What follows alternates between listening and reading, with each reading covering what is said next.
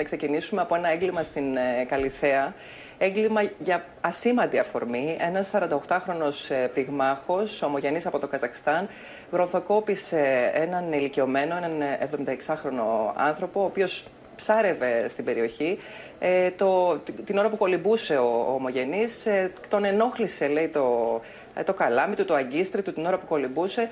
Βγήκε λοιπόν έξω, φέρεται να βγήκε έξω, να τον γροθοκόπησε, του έριξε μια μπουνιά. Ο άνθρωπος ε, έπεσε στο έδαφος, ο δράστης έφυγε από το σημείο και τελικά ο άτυχος ηλικιωμένος άφησε την τελευταία του πνοή εκεί από ισχυμικό επεισόδιο.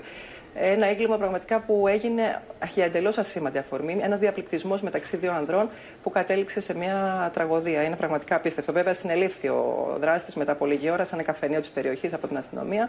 Είπε ότι δεν κατάλαβα ότι τον είχα χτυπήσει τόσο πολύ. Δεν κατάλαβα πώς έγινε το περιστατικό αυτό, είπε στους αστυνομικούς. Πραγματικά. Έχουμε ξεφύγει, έτσι. Πραγματικά έχουμε ξεφύγει. Και ο επιχειρηματίας δεν υπάρχει για τη ζωή ναι. του για σήμαντα αφορμή. Ο άνθρωπος αυτός 75 ετών έφυγε, βίδησε στο πένο στην οικογένειά του. Γιατί λέει για το αγκίστρε, δεν είμαστε καλά. Γιατί έκανε μπάνιο και ήταν μια παρέα ναι, ναι. ψαράδων αριστεχνών οι οποίοι είχαν απλώς το καλά. καλά.